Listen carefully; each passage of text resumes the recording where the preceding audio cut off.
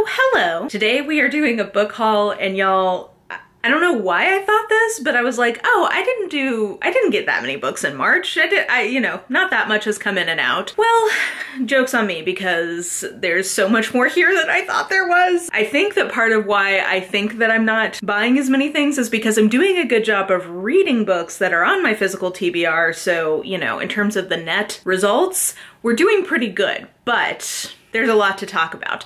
But before we dive into that, we need to start by thanking Book of the Month, who is kindly sponsoring today's video. So, as you guys know, Book of the Month is a service that I have enjoyed and used for almost five years now. I really appreciate their selections. I appreciate the flexibility in terms of being able to skip months, no muss, no fuss. And it's a service I use pretty frequently. In the haul, you will see the books that I selected from last month. But in case you've somehow missed the memo, Book of the Month scours all of the new releases and titles that are coming up, and they select and curate a list of five to seven new titles each month for members to choose from. Your first month is just $9.99 if you use this code, and you can pick any of the books that they have selected for the month. If none of them appeal to you, like I mentioned, not a big deal, just skip it, and there will sure to be something in the upcoming months that is more appealing to you. But I think part of what I really love is that they do have a very wide selection across genres, and if you know me, I'm an omnivore, so I appreciate the sheer variety they have. And I do think that that is reflected in this month's selections, which I'm gonna say of these five, four of them are ones that I either already was thinking about getting to or once I saw the description, I was like, yeah, that sounds great. The one that I am most excited about and that I had wondered, I've, I've been in several discussions with people where we were speculating that this might end up being a book of the month pick, is Kaikeyi by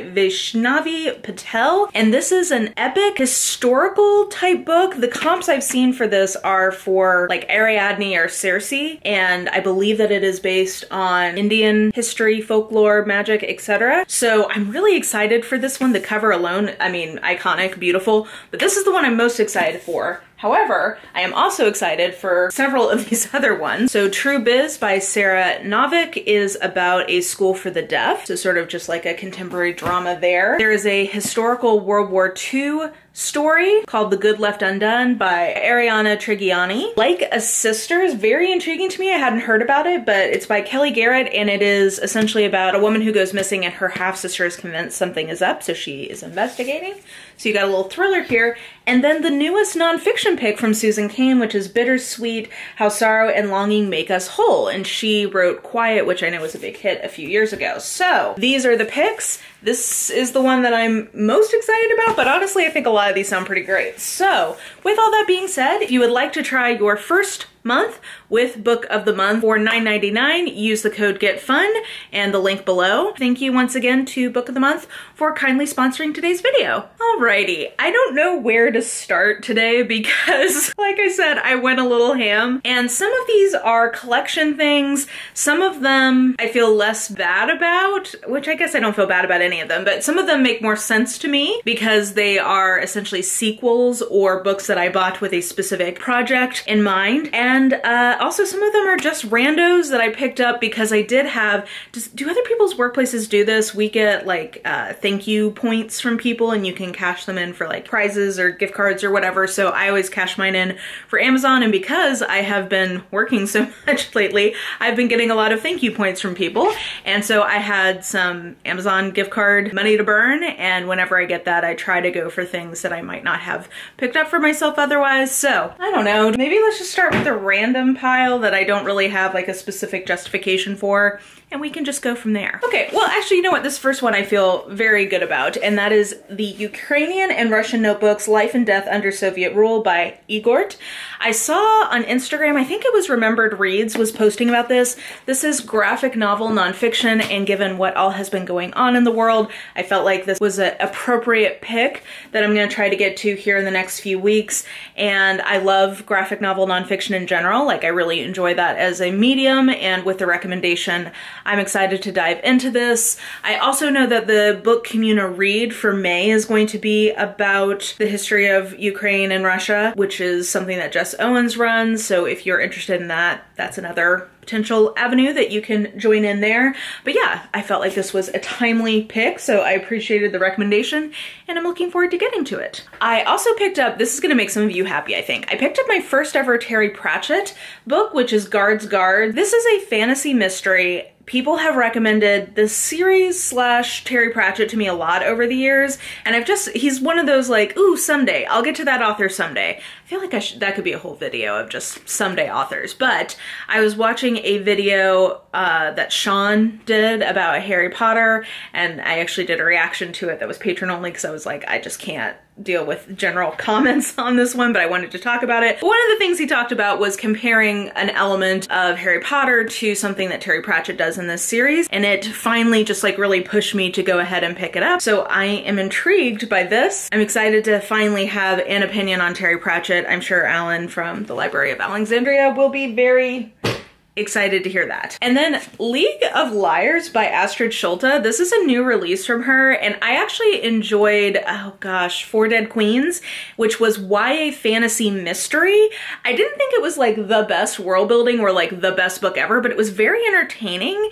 And this one is also a YA fantasy mystery, but it is our main character taking an internship in a YA fantasy version of a public defender's office which I thought was kind of just a very fun premise. So I don't know. I'm not expecting this to like blow my mind, but I'm expecting this to be very entertaining based on that first book I read from her. Ooh, okay. And then this one I'm very excited about and I would not, this was definitely a, I picked this, I, this was a treat yourself thing with my gift card age. Um, when I was doing my Instagram secretly picks my TBR vlog, a few people for one of the picks I had guessed mixed media as the theme for the vlog, and they specifically wondered if I was going to read S by J.J. Abrams and Doug Dorst.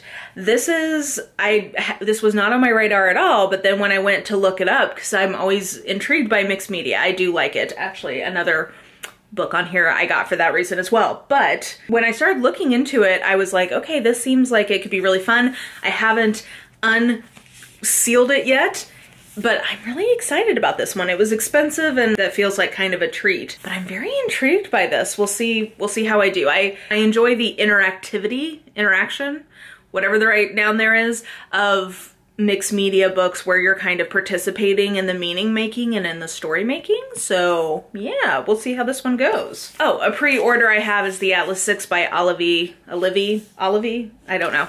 Olivie Blake, which you're going to be seeing in a vlog that's going to go up here in the next week or two. Uh, I pre-ordered this based on all of the hype I've heard from people loving this on BookTok. This is the, the Tor release. This was independently published and now it's getting released from Tor.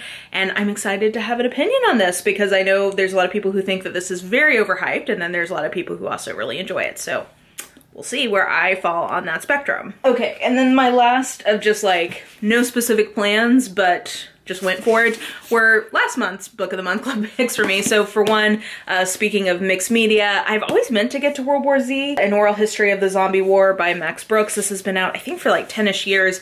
It's basically an oral history of a fictitious plague and it also has some mixed opinions on it, but I really am intrigued by the idea that it's like interview style and kind of a version of mixed media. So this was an add-on that I put onto my main pick last month, which was The Cartographers by Peng Shepherd. I believe this is her second novel. Yeah, I think this is her second novel.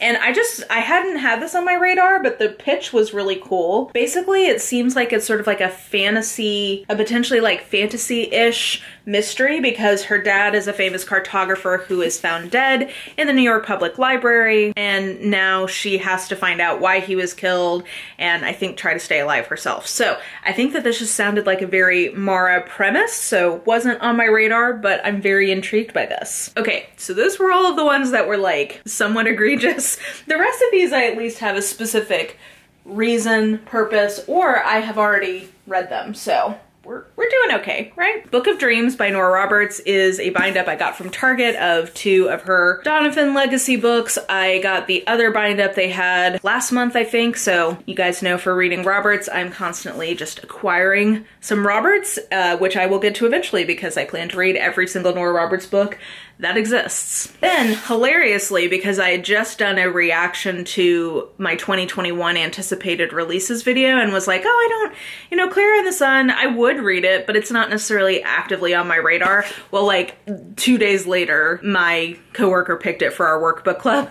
So, Klara in the Sun by Kazuo Ishiguro is a, I believe it's, I think it's like literary sci-fi. The same way that Never Let Me Go is literary sci-fi. I think that's the vibe here. I have seen somewhat mixed reviews, but I know that in that video when I mentioned that I wasn't actively interested in this one anymore, a lot of people commented and said, no, no, I really do think that you would like that one. So I'm intrigued. I'm not mad she picked it, and it just makes me laugh in terms of the timing, but I got this one for book club. And then the other three are all sequels to series that I am reading and enjoying. So one is A Line to Kill from Anthony Horowitz. This is the third in his series that starts with The Word is Murder. So I think I saw a price drop on this one, which is why I went ahead and grabbed it. Jade War by Fonda Lee. So I read and enjoyed Jade City with my friend Leanna in March. Uh, I do plan to continue with the series eventually, I hope sometime this year. Not exactly sure when, but I'm gonna keep going in the series, so I went ahead and picked up the sequel. And then I very much enjoyed Killing November, so I picked up the sequel, which is Hunting November, and this is only a duology. I'm really hoping that this was planned as a duology and it wasn't meant to be a trilogy and the third one just never got published. That's gonna make me sad.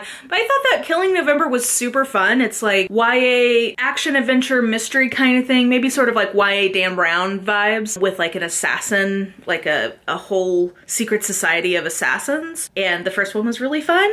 Excited to see what happens in the second one. Okay, and then the rest of these are either books I've already read or things for collections. So I bought and read How to Keep House While Drowning by KC Davis. I talked about this in my work commentary video, so if you want to see more thoughts there, you can see that in that video, but this is basically about sort of care tasks and ways to approach them that comes from a place of moral neutrality. So short, but very helpful, I think. And I also read and did was very entertained by Nine Lives by Peter Swanson. I think by the time you're seeing this video, you will have already seen my month wrap up, so I think I talked more about that in there. And yeah, this is not that good, I guess. Like, technically, I have some critiques of this, but it's just my kind of book. It's like a serial killer not it's it's basically a take on and then there were none but a non-isolated version of it. But a serial killer is coming after these different people and we were trying to figure out why uh, and it's just it's entertaining so i can't defend that this is like one of his best books or like a great thriller but this is just my kind of book so i just had a really good time i thought it was fun i think i gave it like three and a half stars so there you go and then three books i picked up because i had already read them in a different format and i wanted a physical copy. So first we have Morning Glory Milking Farm by C.M. Nascosta. I am picking this as the July Blades and Bodice Ripper Book Club pick, which I think will be a very entertaining discussion. We've never done a version of sort of like erotica for that book club before, and I think it's just gonna be a very interesting conversation. So I decided to pick up a physical copy in anticipation of that. And then the two books that I also used in that work commentary video, Work Won't Love You Back by Sarah Jaffe and Laziness Does Not Exist by Devon Price. I gave both of these four stars. I think both of them are really worth reading. If I were gonna, this one is more of a history. This is more kind of like social commentary or more, a little bit more prescriptive-ish. So I would say that just know that about the kind of two different approaches, but both of them I think are really interesting, thought-provoking, and I think they pair very nicely together. And then I guess the only things we have left are things that I bought for collection reasons. Now, I, for some reason, bought two Penguin Vitaes this month. I think I got lost in the sauce on timing for this, but I usually get one of these a month. I got, oh, actually, you know what? This one had a price drop. That's why I got it. I got The Sun Also Rises by Ernest Hemingway, and then I've got The Color Purple by Alice Walker.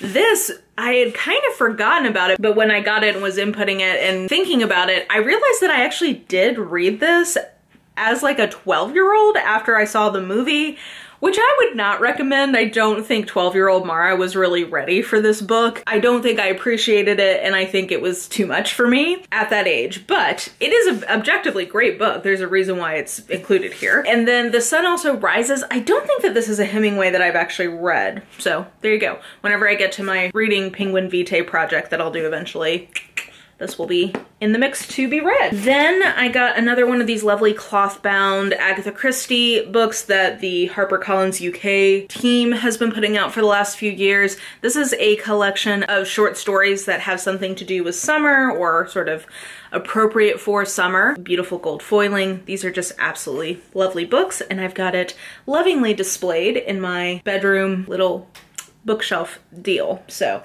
this is lovely. And then we had a Penguin Clothbound Classic come out this month, On the Road by Jack Kerouac. What's really interesting is that even on camera right now as I'm looking at it, it looks oranger than it actually is. I think when I did my Instagram picture, I tried to put it next to the other yellow Penguin Clothbounds because it actually really is more of like a mustardy, brown orangey kind of yellow.